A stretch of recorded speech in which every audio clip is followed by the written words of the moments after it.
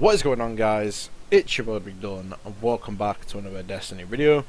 Now in today's video I've got something a little bit different from what you guys are usually used to seeing and that is I'm going to be watching an actual game of my Crucible, you know, of a match I played this weekend in Trials of Osiris on Pantheon um, and I'm actually going to be breaking it down to whether to I made a good play or whether I made a bad play places I can improve and you know is my accuracy good I'm going to be sort of be just critiquing my own gameplay basically. Now this is one of the best ways you can sort of improve at Destiny. You know, in general, any PvP game, this is the best way to improve. You know, by yourself is just critiquing your own gameplay and trying to see where you can improve, and obviously just see how much of a good a player you really are. So hopefully you guys sort of enjoy this type of videos. I'm actually going to be turning it into a regular series.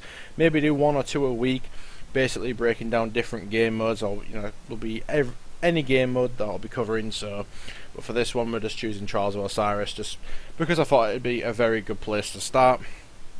So already, I've already inspected all the enemies. I've already seen you know what they're using. I've already got all that out of the way, so that's nice to know. Um, so let's see what happens here. There might be, I might end up stop talking here and there when the game play gets a little bit dead. Um, but we'll just have to wait and see what gets into it. So I picked a decent game here. I think I made some good plays off the start and then I started to fall apart at the end. So we'll just have to wait and see. So there was a good grenade there, so got ended up tracking a few people. I get one pick, which was decent, and ended up challenging the last guy. My grenade got the third one. So that was a really good play there. Okay, I got all three people. I challenged everyone when I was at full health. The third guy, again, like I said, it was at full health, and I ended up winning my one there. My shots were on point. That was a great play, in my opinion. Exactly how I want to be playing the matches out. So again, running straight into the same route. I think I end up running straight into mid again, which again, for Pantheon, I always like to end up capturing the midpoint. As soon as you get mid, you're pretty much okay. Never really any point in pushing out. So the grenade again, because I knew it worked last round, I thought I'd try it again this one. It is tracking one or two people. Got a couple of shots into the guy on the bridge, but I have to back up because I'm tagged. Again, I challenge another guy. Managed to land my shots, luckily, on that guy.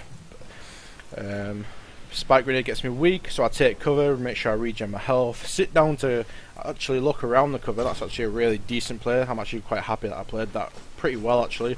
Might just you know, actually. The thing about Destiny as well is your life is always better than a kill, especially in Trials of Osiris. Always play your life out, as it is far more important than to stay alive than just to get one kill. So right here we've actually got one res down, but we've forced the enemies into waterfall. We've sort of bottlenecked them in.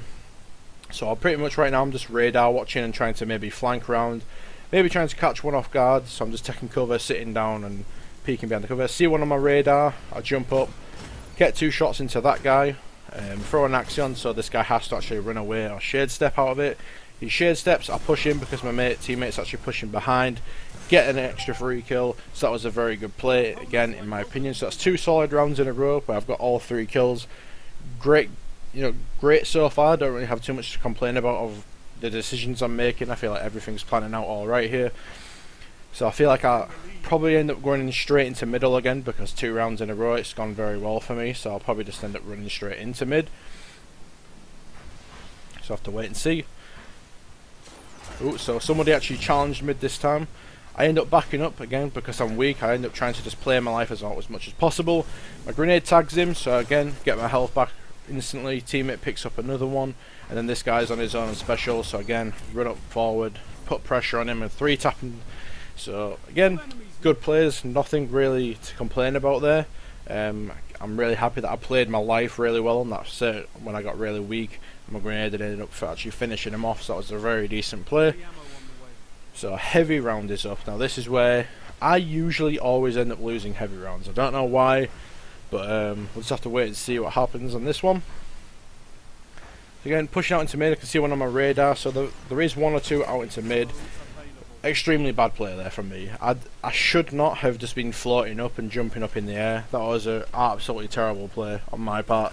I should have probably just ran out and took cover behind the cube and tried to anchor points, but instead I just randomly floated in midair like a like a complete idiot, and then I ended up dying and losing as the round. So again, that is where I could improve. So uh, now I've critiqued that. Now I know that you know in the future games I end up playing on this map, or just in certain different scenarios, to not just jump and float around the map. Okay. especially out in the open like that where there's no cover for me. Um, so definitely that's the point where I can improve on. So let's see how the next couple of rounds go here. So I'm pushing straight out into mid again by the looks of it. So they ended up throwing a grenade. I got my Axion tracking some. I know they have to retreat into the spawn and run away from them now. So one of my teammates is down. I've acknowledged that, which is decent. So I know that they're pretty much all trying to push waterfall. I choked my last couple of shots there. I got one with my Nova Bomb, luckily. Um, extremely lucky that I actually tagged him. Get another one with the Eyasluna there, which is pretty decent shots. This was an extremely dumb play. I shouldn't have challenged that.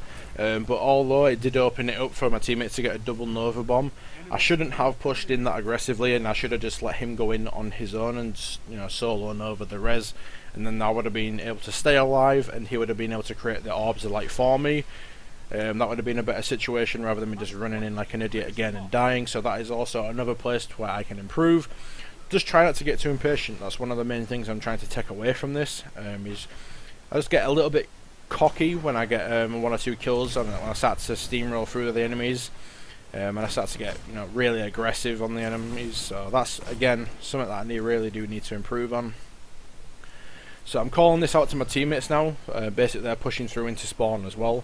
My teammates popped a golden gun. He's already picked one up down near waterfall alley sort of thing. So I know that there's one to the left of me in spawn and one to the right. So they're both running into spawn. I've acknowledged that. I tried to make a push. I end up backing up here because there's two of them trying to single me out. So this is a decent play. I'm just holding my ground and sort of trying to lock them in their spawn waiting for my teammates to come and try and give me some support.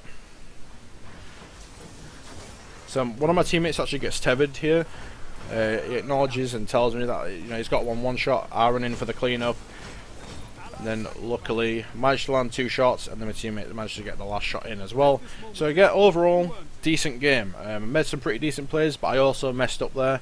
Hopefully, the reason why I'm actually starting this series, guys, is just so hopefully other people sort of get some sort of tips from this and sort of learn um, you know from my mistakes and you could also do this yourself if you want to live stream on Twitch and then go watch your past broadcasts and sort of break it down yourself watch your own gameplays back and you will slowly start to improve in the Crucible. I used to do this quite a bit in uh, especially Halo um, but I'm definitely going to be starting to do it again now in Destiny because I've started to sort of plateau in my gameplay. I'm not really getting any better um, mainly, again, because I've not really got any drive to play, but overall, I feel like this is going to definitely help me again, and hopefully, like I said, you guys get some information from this. Also, drop a like in the video if you enjoyed, subscribe to the channel for future Destiny content. Hopefully you enjoyed this type of video, and peace.